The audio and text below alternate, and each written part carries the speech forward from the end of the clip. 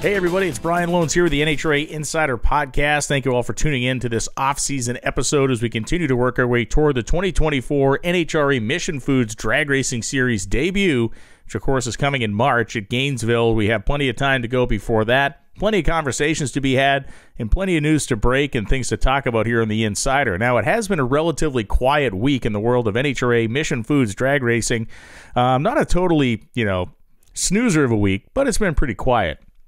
Uh, hopefully, you're following along uh, places like NHRA.com and across NHRA social media channels. This is really a time of the year where uh, Phil Burgess, uh, Kevin McKenna, uh, Kelly Wade, who's a great contributor to NHRA.com and National Dragster, and others, uh, including uh, Schmuckville Me, uh, are all kind of throwing content there and, and, making things. Our social media team is really killing it. Uh, hopefully, you've been able to see the championship kind of a recap season video that Jacob um, Haberstrom made, who was part of our social media team. Uh, regarding Doug Kalitta, uh, really, I think a fantastic piece. He did a just a brilliant job with the visuals on that, and it was a pleasure to work with him uh, in helping to put that together. Um, you know, you can check NHRA.com for all kinds of great insights. You know, the off-season kind of work that gets done there is pretty cool. It's analytical. Um, it looks forward and it looks backward. We kind of take a look at what happened in 23, what we should be looking for in 24. Um, you'll see serial style stories, kind of one after the next, things to look for in 2024, and, and all that good kind of stuff. In terms of news and or rumors uh, that I've traditionally begun uh, starting the program with in this offseason time frame. Not a whole bunch. Um, there is one that I think is significant. I probably should have brought it up onto the table last week, but for whatever reason, I failed to do that. Um, the John Force Racing Camp, you know, there is some some talk there that it may be a three car operation in 2024. I think we're going to learn more about that uh, as this week. I'm making this show now um, right about the January 10th time frame. And I believe in, in this coming week there may be some announcements made. But uh, the rumor is that Austin Prock, uh, that car may not come out of the shop to start the season. Now that's not to say it will be parked, and we of course have seen this in the past. Um, meaning it won't be permanently parked. But again, that is a rumor. Nothing has been put out by John Force Racing as of yet, but I do believe there has been some personnel that have uh, found new homes, so to speak, and I think we're going to have some information coming from JFR in the coming week. That's really the only big kind of bubbling internal story in the sport right now that um, that I've heard. Uh, certainly doesn't mean it's the only thing going on. But what we're going to do on today's show, we're going to talk to two people that are in two really different situations here coming into 2024. Uh, the first guest will be Rob Wendland, who is the crew chief for Shawn Reed Racing, and they are coming out full time for the 2024 season, and they are um, like a good chef, he is starting his his recipe from scratch. Um, you know, Shawn committed. He hired a bunch of people. We're going to talk to Rob about, you know, the timeline of putting this team together, the timeline of getting things ready, what the stumbling blocks are, what he looks for when he hires a crew, which of course he's done. And those guys are working with their nose to the grindstone every day to prepare themselves.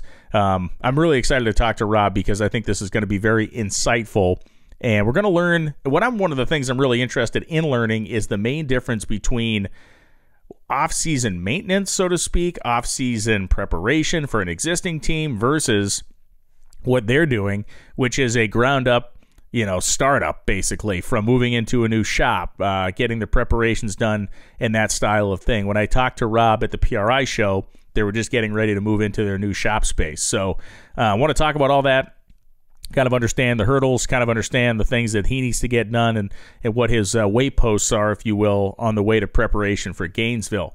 Uh, secondly, it's going to be Tony Schumacher. And um, you, what we know and what we're going to learn from Tony this week, I think, is some insight that we've all been wondering about regarding, you know, SCAG Power Equipment uh, no longer involved with with JCM Racing. I want to talk to him about the season. I want to talk to him about who's involved in the team, any changes. Um, kind of an interesting announcement that is not exactly headline news, but is kind of a big deal. Is JCM Racing purchased the hospitality um, assets of Don Schumacher Racing, and they're going to be operating that hospitality now and and taking that uh, role over. And so, to me, that is a great statement of a team that isn't going anywhere. Uh, you don't make that purchase, you don't make that commitment without understanding that you are in this for the long haul. And so, I want to talk to Tony about everything they're working on, uh, what the SCAG departure means for him, kind of his thoughts on that whole situation and, and what they're going to do going ahead. So, all those things being said, um, I think we're going to get ready for our first guest. Rob Wendland will be joining us when we come back here in the NHRA Insider Podcast. We're going to talk about getting a top fuel team up and running in the middle of what has become a cold Indiana winter. Don't go anywhere. All right, we are back with our first guest in this episode of the NHRA Insider Podcast. He is the crew chief for Shawn Reed Racing and a guy who is uh, elbows and neck deep into getting a top fuel car prepared for the 2024 season. Mr. Rob Wendland, how you doing, man? Great, great. Hey, thanks for having me. I sure appreciate it. You know, you guys are to me one of the big stories coming into this 2024 season. I think when we look at how kind of busy the top fuel season is and how now full the top fuel category is, it's pretty awesome to be adding another car. Yeah, I tell you what, you're, uh, you know, we talked a little bit earlier, but we are, I'm talking, barely got our eyes above the water right now in the amount of work that is going on, you know. And there's, you know, uh, Tuna, Ed Tyler, you know, came over from Cruises as, uh, you know, our car chief. Sure. And this is his, this is his seventh team build. Wow. And that means, you know, and, uh, you know, that says a lot in how long you've been in the, you know these ranks out here and everything you know because there's not too many times that when you produce a brand new team you know a lot of times it's you know a team that got transferred to someone else or Sure. something like that you know and it kind of reminds me of the leah pruett story that they had it's we're in the same situation where you know there wasn't even a tool here you know to put something together with so Well, look, and, and from your perspective, that's probably the most valuable guy you can have, right? Because it's one thing to kind of know what needs to be done, but if this guy's been through it that many times, he understands, I think, and maybe can avoid some of the pitfalls, right? Oh yeah, it's a it's a blessing to have him here helping us, you know, get this done. But you know, even more importantly is, is Ryan Elliott. You know, uh, the history that me and Ryan have. You know, I hired Ryan on uh, to be a body guy and tires when we did Johnny Gray's car. You know, and he was way more talented than that. But at the time, I told him, I'm like. Ryan, I was like, "This is the only job I have," and he goes, "That's okay. I'll, take, it. I'll just work my way up, you know. And he ended up being my right hand man there with Rip, you know, uh, through all the Johnny Gray days. So it was, uh, it's been a, a blessing to have him here. If he if he wasn't here, this this deal would not launch at Gainesville. There's no way.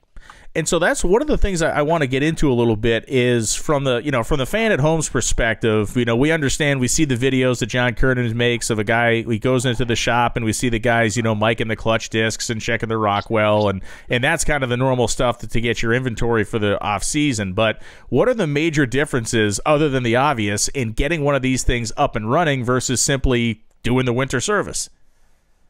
Well, in, in every department, first the thing is is you know you've got to fill this thing full of Matco tools, right? Yep. And every department has specialized tools in it, and a lot of the time these are hand-me-down tools that somebody has made, you know, throughout their career Okay. or something.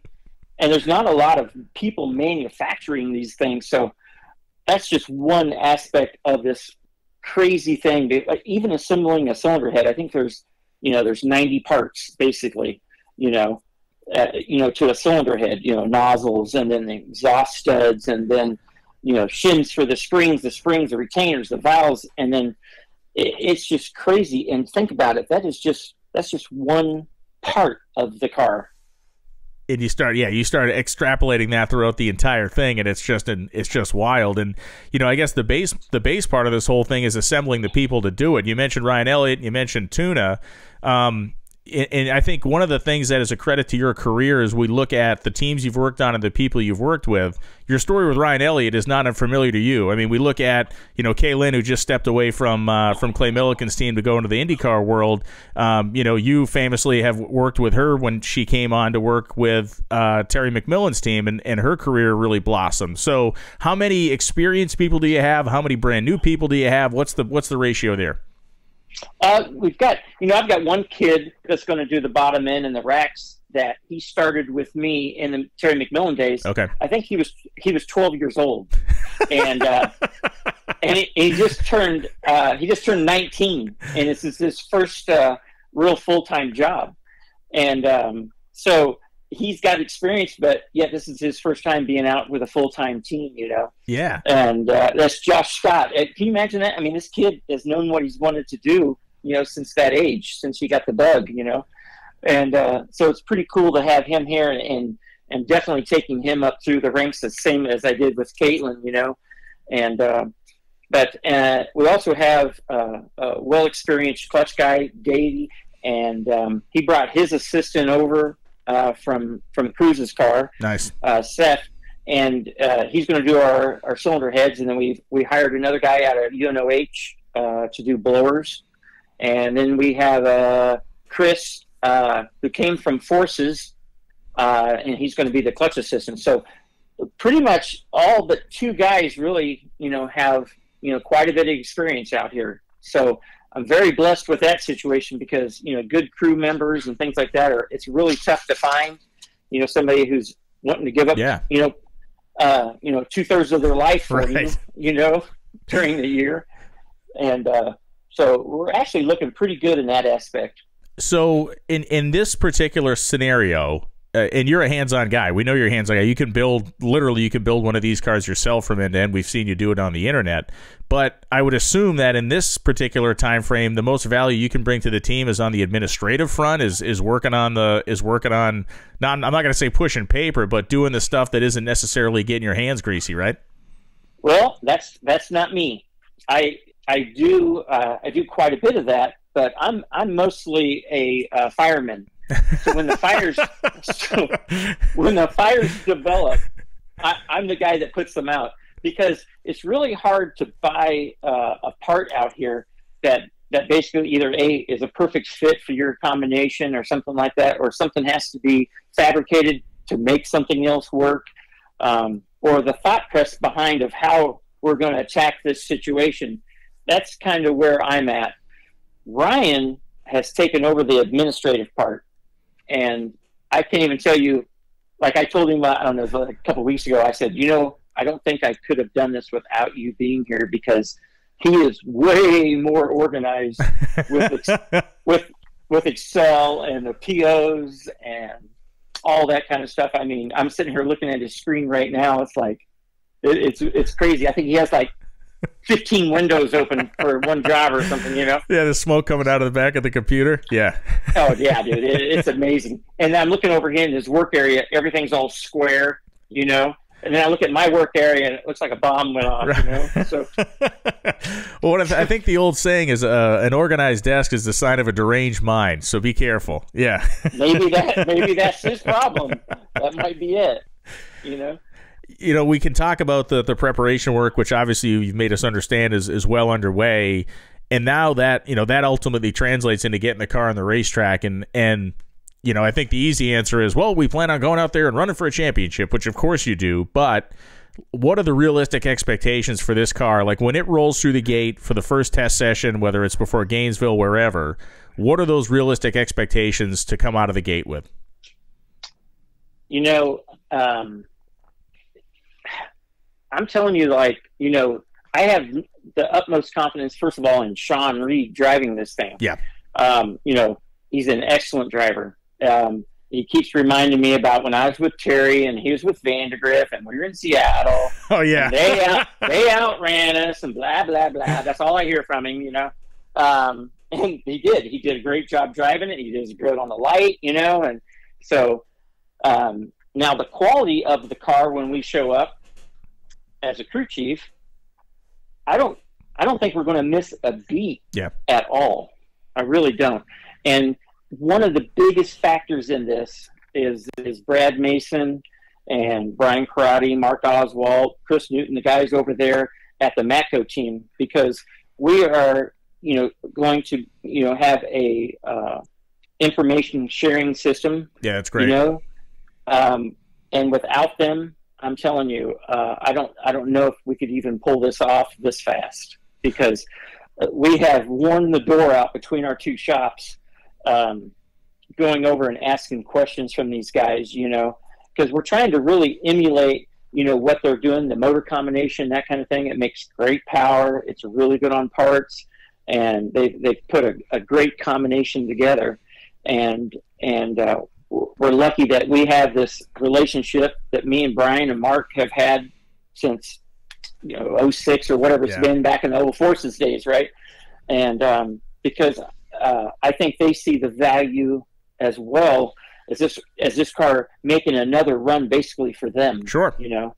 And, so, and, to me, it's an interesting evolution of the of the whole model. Like we've seen so many different ways that teams have worked over the years in NHRA, whether it was old days, everybody was an independent, everybody did their thing. Then we had the, the, the real kind of super team era, which has clearly kind of come to an end. And now we have individual owners that have these alliances or have these alignments.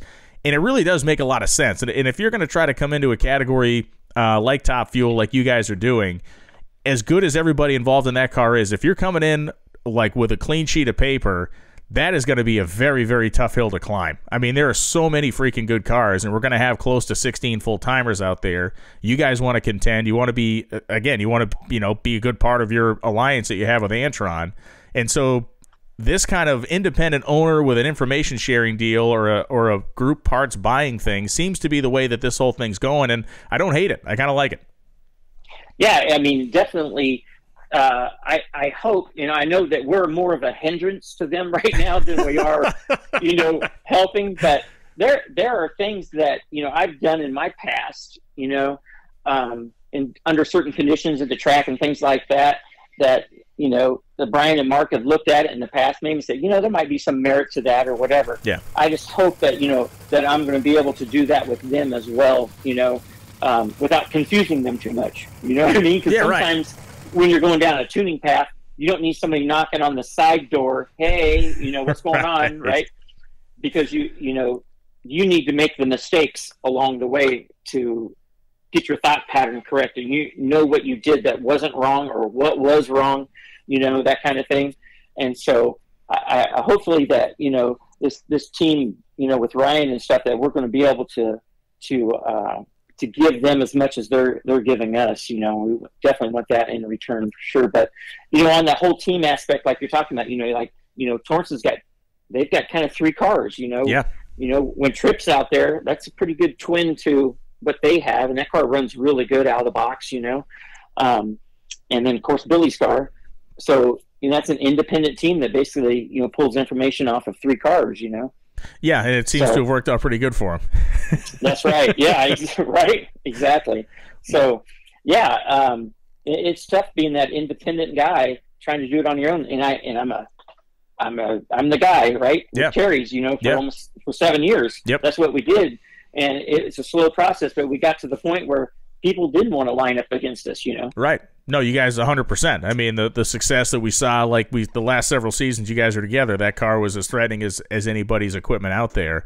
Um, when you first got contacted by Shawn, you know, how much skepticism did you greet this with? Because I think, you know, anybody that's been around the sport at the level you have for as long as you have have seen and gotten a lot of these phone calls, right? I'm starting a top fuel team. I want you to be my guy. How much skepticism did you greet that first call with? And then, you know, how long into the, the process did it turn into a situation where you're like, you know what, this is solid. I'm doing this. We're, good we're a go.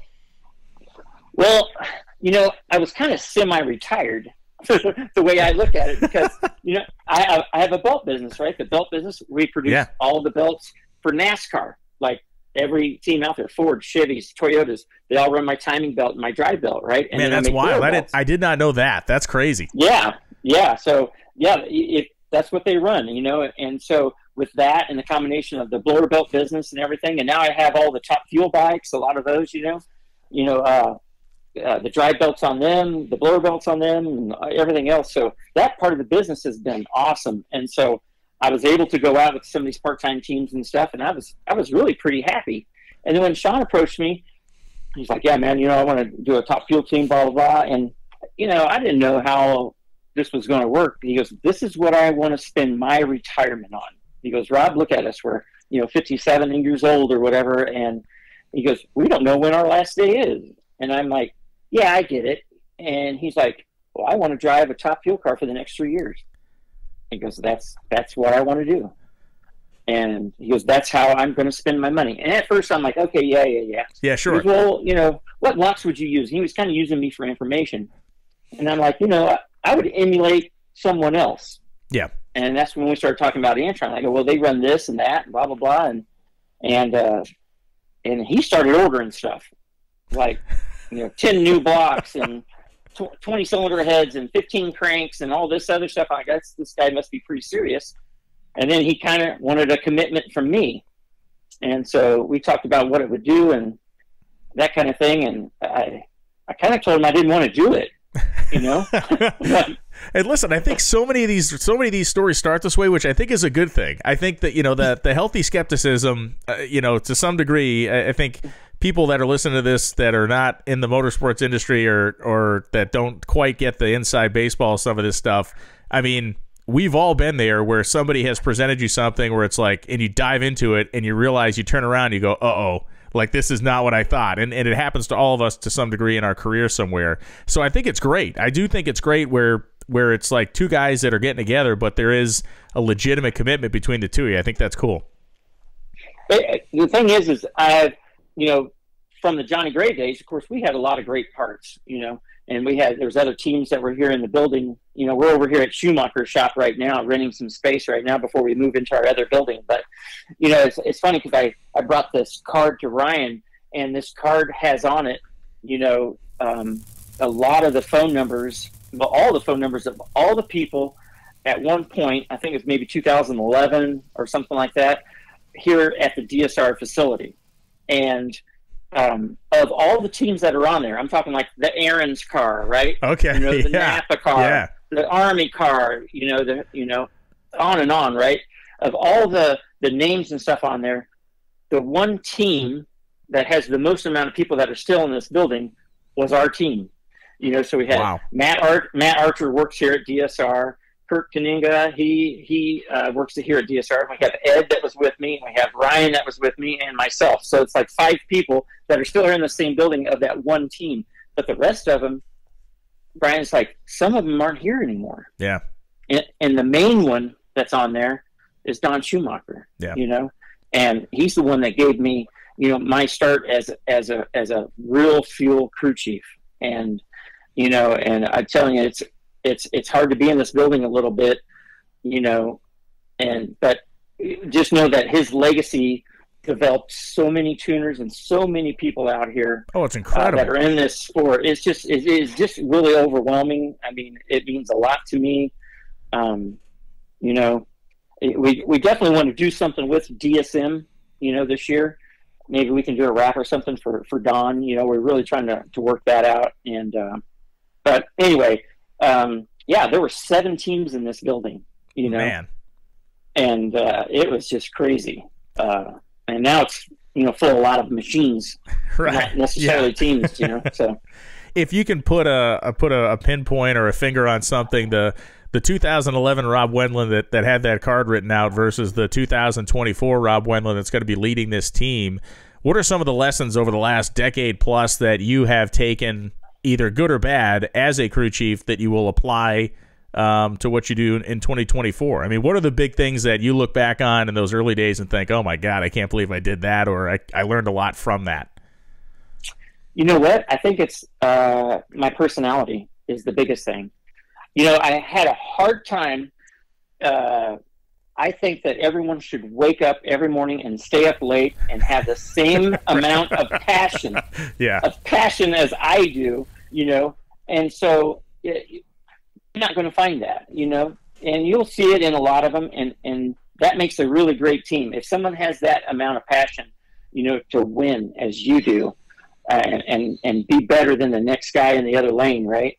Um, as you do, that's that's really what makes a good team. So, but you can't force that onto someone.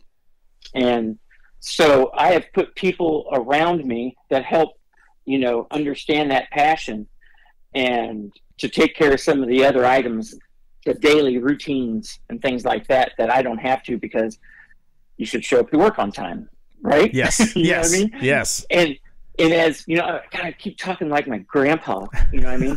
Yeah, but like- that's the thing about our grandparents. They're smart.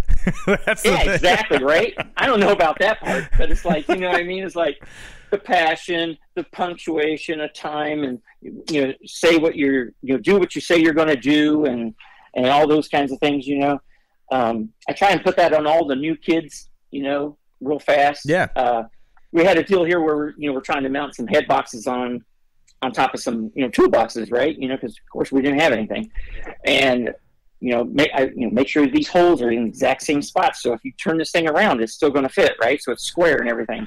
But we get over there and that's not the case, you know. And the guy goes, "Oh, I didn't know you wanted it exact." Oh, like yeah. I'm like, and I go, uh, "Yeah, everything I want you to do, period, on this, I want it exact." You know, it's like Yeah. he looked at me like, "Oh crap," you know. I mean, he's like, "Hope I didn't make him mad," but you know, I have that. You know, that passion should be carried through everything that you're doing on the race car. So it's stay safe, fast, and then also that the fact that it, you know it's competitive because it's put together correctly. Yeah, absolutely. The tolerances on the toolbox should uh, should match the tolerances going on the uh, the main bearings or whatever. You know what I mean? pretty pretty darn close, right? And so, so you know, to answer your question is, I think as myself, I think it's my personality. If I had to try and loosen up, you know, yeah. and and um, but you never you never can take that passion away. No. I, I want these. I know how much these guys give up their lives, their personal lives, to be out here to do this. So you have to be really understanding of family time. So um, I will want them if there's something going on in their families and they need to be somewhere. I want them to know 100%. I've got their back. That's that's what we do, and because we are a smaller small family together, Yeah. they're living with each other more than they are their wives and stuff like that. So um, that you know you you have to give back to your employees, but you definitely want them given as much as they can for you. Yeah, it makes total If that sense. makes sense. Yeah, no, it makes total sense. I, I, I got a friend named Tom Nelson. He's a he's an engine builder out in California, and when he first got going in the business, he bought a small machine shop to get himself started. And you know, he had a guy that had worked there for like thirty something years, and he would get pissed off at this guy because it didn't matter. It didn't matter what was going on. At nine fifteen, this guy was taking his coffee break, and at eleven thirty, this guy was taking his lunch break. And it got to the point where he was going to like fire this guy because, to your point, he wasn't like working his way through lunch, and he wasn't staying all hours of the night. And somebody finally grabbed him and said, "Hey." This guy's produced flawless work for like 30 years. Let him drink a cup of coffee at 9:15 in the morning. And it was kind There of a, it was kind of a lesson for him, the, the same one you're talking about where it's like, okay, I have to figure out how to balance this a little bit, but I also have to recognize talent as it is. Yep, that's correct, and that's that's tough when you when you're talking to Aaron. You know, this is you. Uh, I look at it like you know, watching like some of the college games and, and then Sure. basketball games, and you see the coach out there, and he's got veins poking out of his head, and he's poking at the guy, and you know, I even watched the Chiefs game when uh, who was it, Kelce uh, threw his helmet down Yeah. or whatever, Yep. and he's like, "Don't give him," you know, "Don't give him back his helmet," and he kind of nudged him with his shoulder, you know, Yeah. and I'm like, oh crap, I guess you can do that. but you, you can't do that and have employees, but you can do Right. it if it's a if it's a sport. So I have to separate that. For you, um, you know, last question before I let you get back to it, but you know, what is the thing you're looking most forward to in, in 2024 with this new venture? Oh man, you know, uh, just man, I, I well, I've I've never had a new block since 2014, all through That's you know, crazy. McMillen's deal, right? I, I always got stuff from you know Yeah. used stuff from Torrence's or Scrappers or somebody else that was selling something. So this is the first first year since my Johnny Gray days that I've had new parts, and I'm talking Brian. This whole thing is new. it's new, everything. We got a we got a Lucas car, you know, and you know, so we're trying some different things there with the car, and uh, I, I'm I'm just uh, I'm a little bit overwhelmed Sure. right now at the moment, but uh, I'm very confident in this team and the parts we have, and then this conglomeration that we have with, you know, the Matco team. I, I, I just see great things happening this year, and uh, we hope to go out and hurt a bunch of feelings as long as it's not ours. That sounds like a good plan to me, Rob. Thanks so much for taking the time, and uh, congratulations on the new venture. I wish you the best of luck, and uh, good luck making your timeline to Gainesville. Well, I sure appreciate it. We'll be right back with Tony Schumacher right after this. All right, we are back with our second guest on this episode of the NHRA Insider. He is the eight time Top Fuel World Champion. He is Tony Schumacher. What's going on, man? Ah, just making myself a cup of coffee and enjoying the uh, winter break. Getting ready for a monster year coming up. It is going to be a monster year, and and of course, I'd be remiss if I didn't start by um, you know sharing our, our collective condolences from everybody. The passing of your dad, Don Schumacher. Was uh, I know kind of a tough stretch last year or so for you guys and your family. So I um, I, I certainly um, sympathize with with what you guys have been going through, and certainly uh, a legacy that is unparalleled in this sport. Yeah, we appreciate that, and I think you know, uh, just the thanks go out to all the fans that were patient because, and and the team guys, you know, like yeah, everyone at NHRA was asking, and you know, he wanted it real hush hush, and we did our best to kind of just fulfill his wishes, and uh, it was, you know, it's an awful thing. He's he's my dad, man. You know, just we did this whole drag racing thing together, and we spent a lot of time together, and uh, for my sisters, you know, it's just hard on everybody. But you know, we we knew it was coming, and we couldn't say much, and that's what made it really really hard. Because, gosh, you know, want you want to share in that stuff because you need the support, and I think uh, you know we we did the best we could to keep it on the down low and and just support what he wanted. Yeah, and, and look, it's a it's a tough thing. Um, you know, it's a public life. it's a public life he lived. It's a public life that, that you guys have lived. And so when it's when it's time to circle the wagons, I think it's it's only appropriate. And I'm glad that it, at least outwardly it seemed that a lot of people respected that privacy. Yeah, they did, and they they asked you know all the time like anyone would. Just Yeah. how's he doing? How's he doing? Yeah. And you know, to be honest, we didn't have all those answers because uh, they were kept from us because we're in the public eye. Yeah. You know, and Yep. and it, and I understand why they did it. You know, I am I am is. if you ask my wife, I'm the worst secret keeper in the world. you know, right. like, like I don't I don't even get told stuff till days after. You know, just, but you know it, it is what it is. It's like th- this is a tough one. I think we'll have a, um, you know, the whole year was tough. You Yeah. know, we had a we we lost Kathy. You know, Joe and Kathy. Yeah. Kathy passed. Uh, we we had a somewhat of a struggling year with a new team.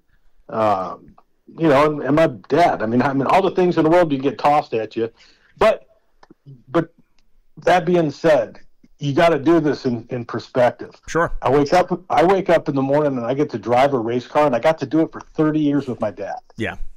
No, a gift, man. and- That's a gift. Absolutely.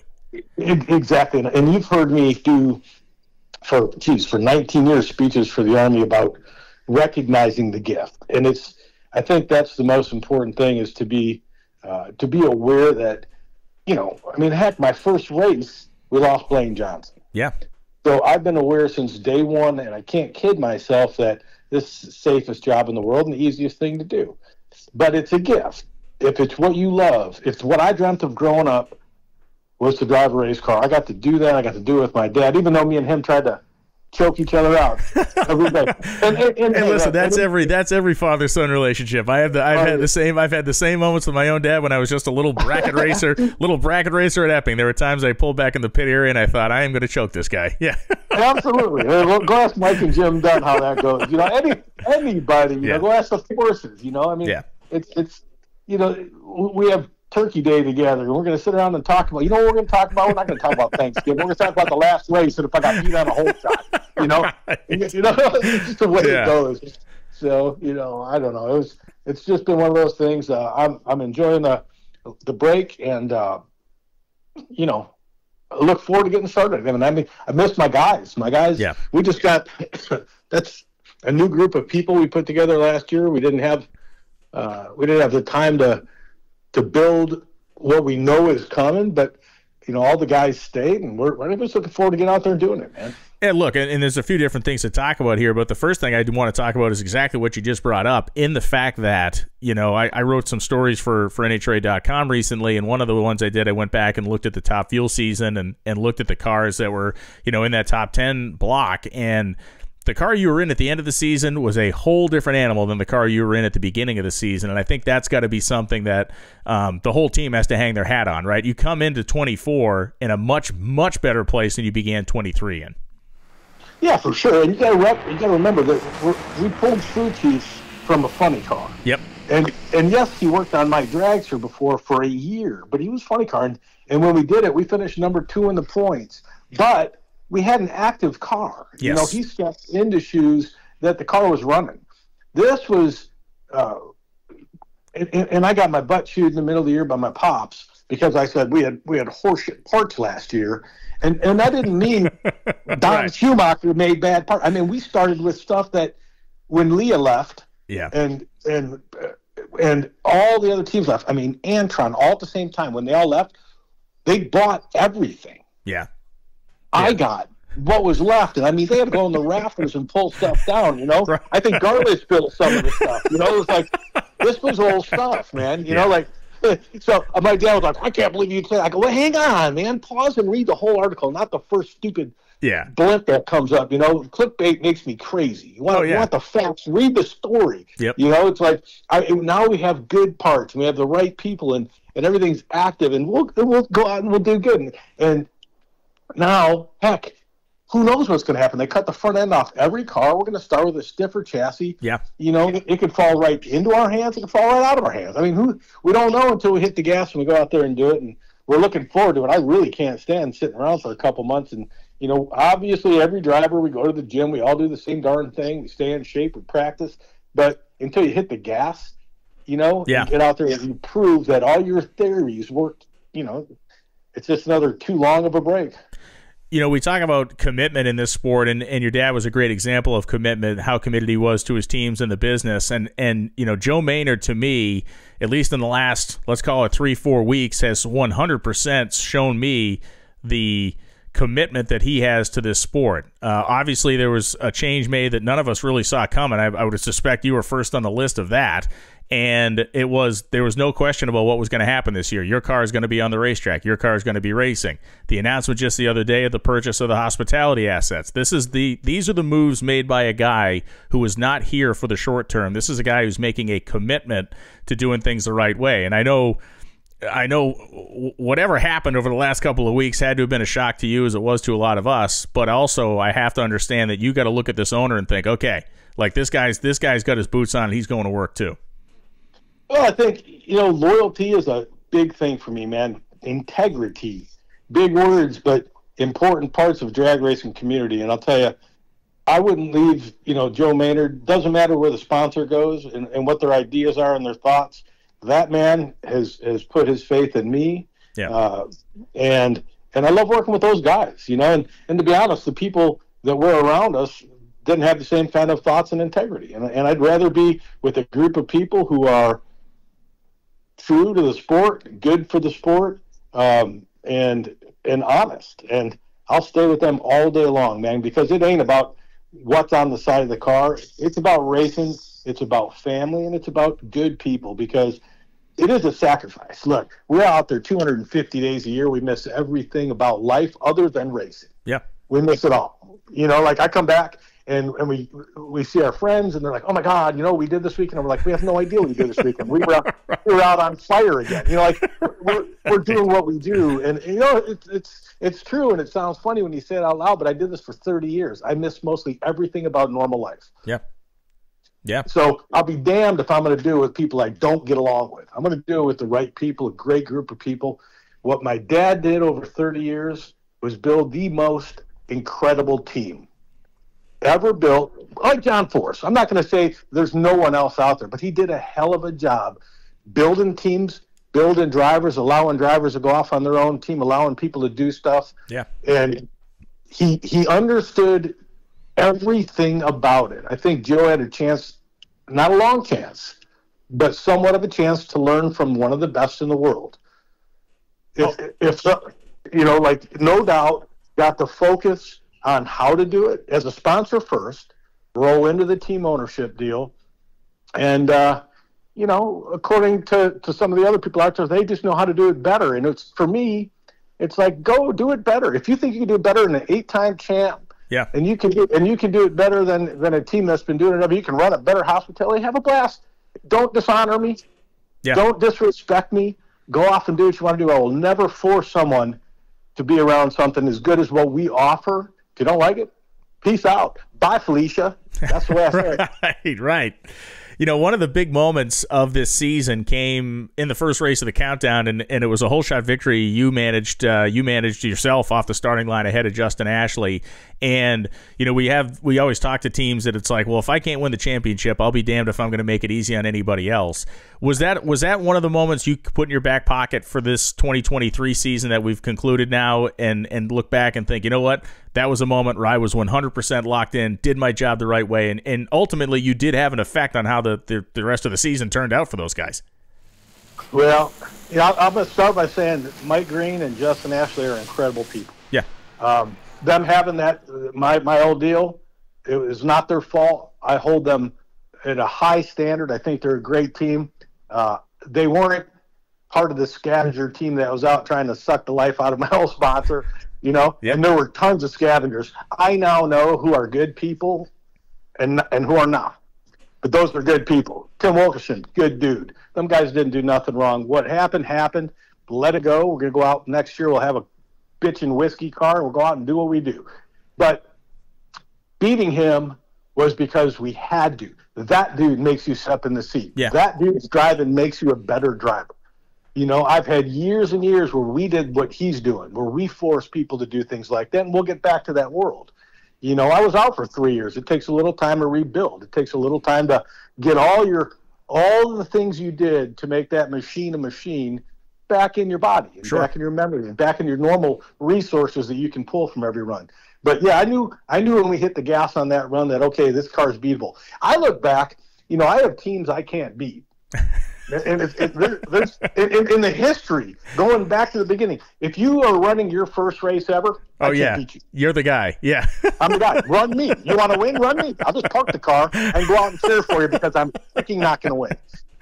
Torrence Torrence does very well against me. I can beat. I can have 500s on the start line and my car is going to shut off for whatever reason. Justin Ashley, on the other hand, for whatever the reason, I think he's beat me once. When we run, when we won in Seattle, went through Justin. We went, yeah. When we went to the finals in, in Brainerd, even though the car wouldn't start, we got penalized and fined. We still beat him. Like our car beats that car, and you can't ask for a better opportunity to beat that car because, you know, after all that's happened, my target, even though it's winning the championship, is going to be to destroy that team. Of course. and look, and, and, and, and, and that, it's nothing personal. I love Justin and I love Mike Green. I've talked to both of them and said, hold nothing against you. You know, it's just my job now has become more fun. Well, yeah, and you know, you know, your team, you know, having worked with the army for so many years is a, you know, it's more of an Air Force thing, but they call it like target fixation, right? And and yeah. guys get you know get locked in on one thing, but. Uh, having extra motive motivation is ne- never a problem, and it's never a bad thing, and and not necessarily that you needed it, but it seems like now you got it. Oh, it's going to be fun. I'm just looking forward to getting out there and doing it, you yeah. know, and and take and, and smoking the orange car. And I will never use the correct color. It's an orange car. It's an apricot car.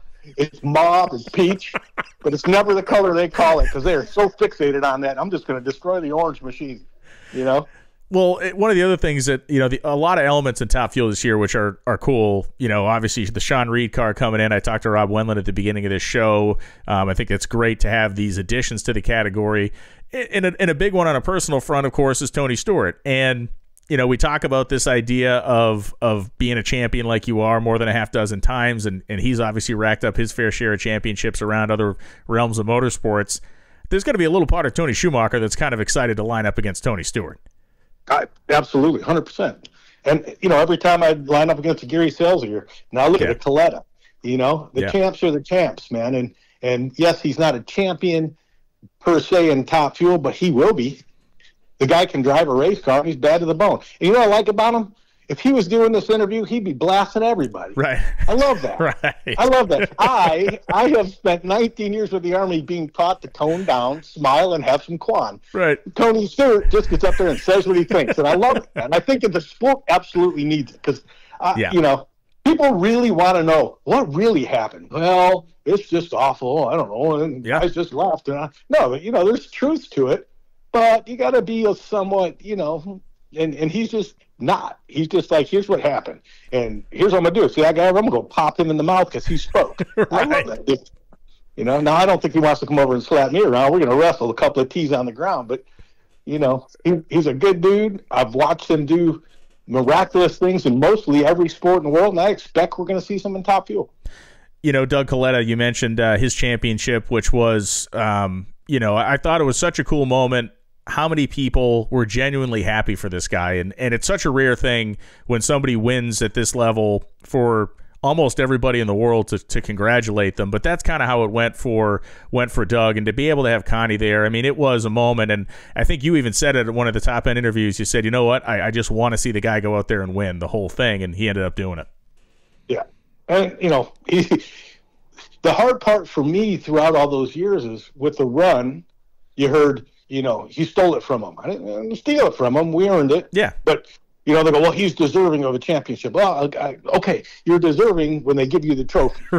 You know, right? And, and I, That's that a great makes point. me crazy. I mean, I, I'm Yeah. deserving of the trophy last year. We didn't win a race, but I'm just, I feel like I really would like it.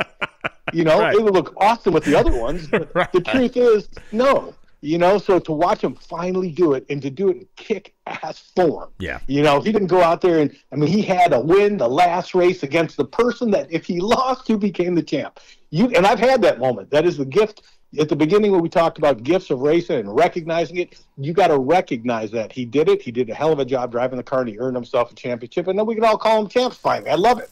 Yeah, and listen, you're one of the you're one of the only people on the planet that actually understands what that moment is. I mean, you're really there's there's what you and you and basically him now. When we talk about anybody that's that's still active in Top Fuel, or even that's still you know wanting to talk about it anymore, um, you you guys are it that understand that that pinpoint end of the season moment to actually lock it up. Yeah, and you know the funny part about it is that's the moment that dictates it, but it takes all the rounds before that that lead up to it to make that moment. And I think the run, when we talk about it, and we talk about it probably all too much, but no matter what, which season, the hot rod season, the year after, the season where Antron beat me because I got beat on a hole shot by Bernstein in the Yeah. past. All those moments, you know, Antron didn't win the championship because I lost Right. that round. He won the championship because he did a hell of a job all year long. He just had a fire that round, so it leads up to it. But but there's a reason for that. It makes that moment so amazing, and if you don't recognize it, and you can't sit up at that time, you know, and and do your job, and he did exactly. You know, God forbid he goes out there and has a 120 light in that round and gets beat. Right. You know what I mean? Like Right. the whole world would have been like, no. You Oh, know, yeah. Even Leah would have got out crying. You know, like everybody's pulling for him. You know, and Yeah. she did a great job. It was a hell of a race, man. Yeah. Everything about it was good. You No, know, it was yeah. It really was. It, it, encapsulates really what, what we always want to see, whether it's uh, a Sunday afternoon at the third race of the year or the, the final the final Sunday afternoon at the final race of the year. And that leads me to my next question, which is when we look at the car count in Top Fuel this year, going to be close to 16 full time cars, and then we add in the part timers. Um, we're going to have bump spots, knock on wood, at every single race with probably a couple of cars to spare.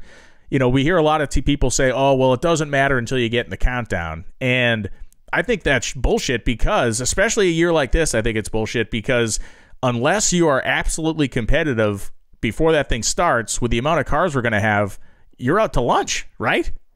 Yeah, for sure. You, you're going to have to start out. We have got to start out three levels higher than we were for sure. Yeah. We, we don't. We, I don't intend on finishing ninth. Although nine is a cool number, I'm glad it's me on the side of the car. I, the world's got something special about the number nine. At the end of the year, I don't want that number one back. Right. You know, really, really bad. We can give the orange car number nine. Right. I don't care about that. Couldn't care less. Bye bye.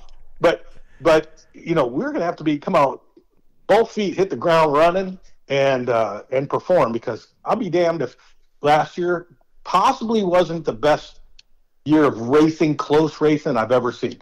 I was qualifying 12th with a good car. Yeah.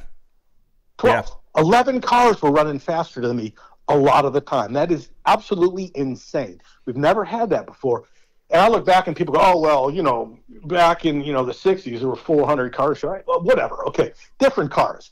You were ahead by a second. Right. Right. Now we're ahead by a thousandth of a second, two thousandths. Tied sometimes in mile per hour is going to dictate where you're qualified. I challenge you, there's never been nothing like this before. The drivers are doing a better job. The crews have found their teams. And I think that's important. You know, when silly season happens, is guy bouncing here, guy bouncing there. I think the teams have been collectively assembled and they're better than we've ever seen as a whole. The fans are going to get a better show. I do not think Funny Cars is good. No, it, it, it right now it don't funny I think there's five cars in funny car, and that's it.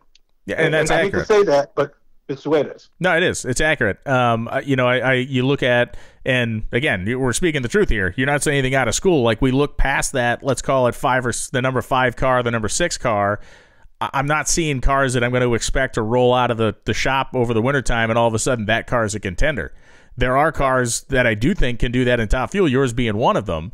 And you know, you mentioned one thing earlier, and I want to touch back on it now because you just referenced it. But the idea that this team stayed intact is hugely important, right? Yeah, I think it's absolutely important. I think two things happen, even with a, a major sponsor leaving, because we've had this before. you know, and going going somewhere else for whatever reasons. I don't even want to talk about that stuff.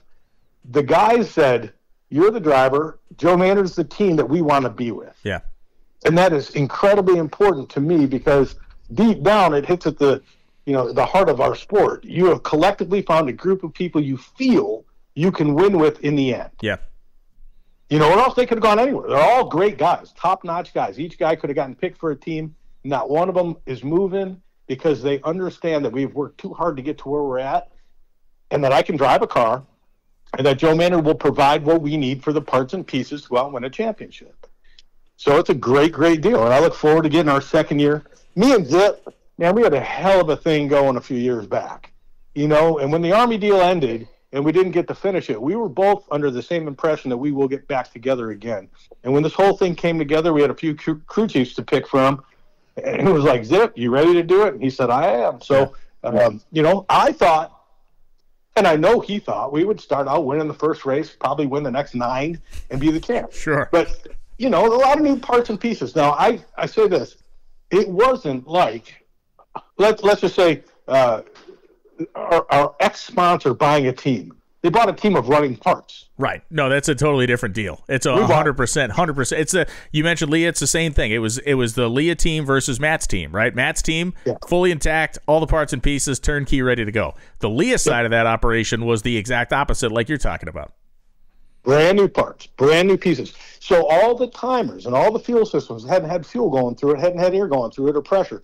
None of the timers had been set. Like it took us a long time to go, what are we missing here? Like yeah. it just, you know, it ain't like you get to go out and run 500 miles yeah. and tune it and tune it, and you have computers reading it, going, you're missing air here. You got, you know, it, it is a one run at a time, brutally painstaking, you know, difficult sport. Yeah. And and it's that hard when you have good parts. So when you got to start with something that's all brand new, it was this rough, man. But we're getting there. We're getting there. We're, it's, we're reading out the old parts. Yeah, it's like the micro level and the macro level. The micro level is you look at a race weekend and you miss, you know, you screw up the first qualifying session, it puts you behind for the next couple, whether it's a three session race or a four session race.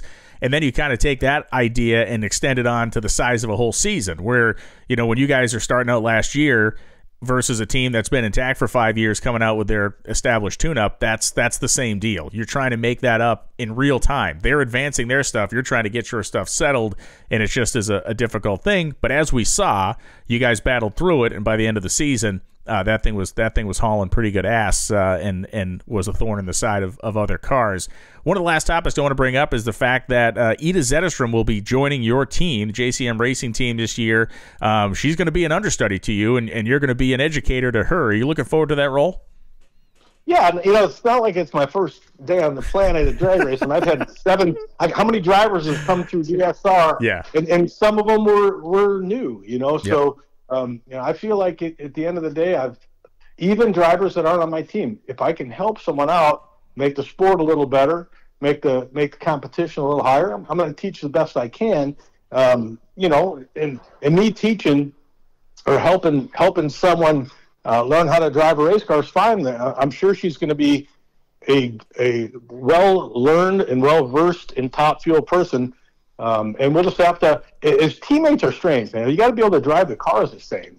You know, you got to be able Makes to sense. load the brakes the same. You got to be able to stage the car the same. And and we've had a million different drivers come through. We've never run exactly the same. It's never the same injector, the same blower. So this will be unique where the car should be identical.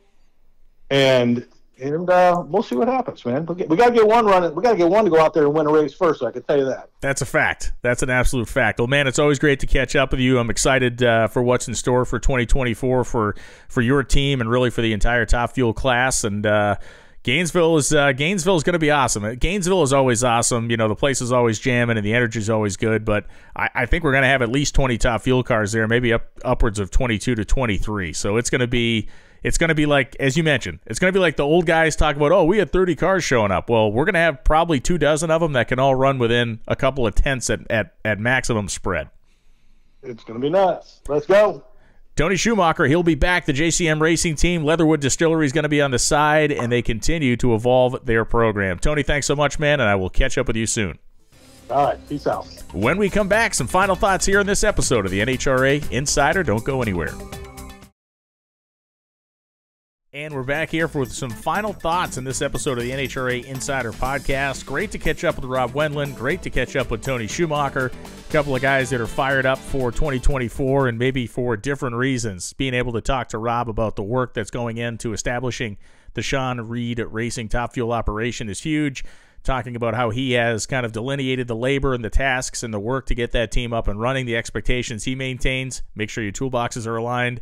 Um, it's cool. I, I love getting in the minds of crew chiefs. I love understanding how they view things, what makes them tick, and what things are specifically important to them. Their partnership with Antron Brown and the Matco team will be absolutely fundamental, in my opinion, to a quick start for them. And for Tony Schumacher, obviously spitting some fire there, as you'd expect. I mean, that was um, that was a pretty seismic announcement that was made when the SCAG factory team was announced, and uh, you can hear his voice. Um, well, you can hear in his voice that he is not exactly uh, as fired up about it as some other people may be. But I think what this all leads to is another layer of interest in top fuel drag racing that is not going away anytime soon. Uh, it is going to provide motivation, I think, for everybody involved. And for Tony, he is 100% going to be bringing that fastball along with John Schaefer, uh, along with Mike Neff, and his entire intact team being led, of course, by Joe Maynard of JCM Racing that's it for this episode of The Insider. I think this one was insightful, and there was a couple of hot nuggets in there that, um, well, may make a couple of waves. I'm Brian Lohnes, and as always, thanks for listening to The Insider. We'll be back next week with more guests, maybe some more breaking news, and definitely some more rumors, because that's what we do in the wintertime. The ice is frozen over in Indianapolis, but the season is always starting to warm up at this time of the year as we move ever closer to Gainesville. Get your tickets today for whatever races you want to attend on NHRA.com. Most every race of the season is on sale right now. You can get your early races and midseason races handled. We're going back to Route 66 Raceway. You don't want to miss that. And of course, the Gator Nationals, a sellout last year, got to be sold out again this year. Make sure you get your tickets today. We'll see you next week here on the NHRA Insider Podcast.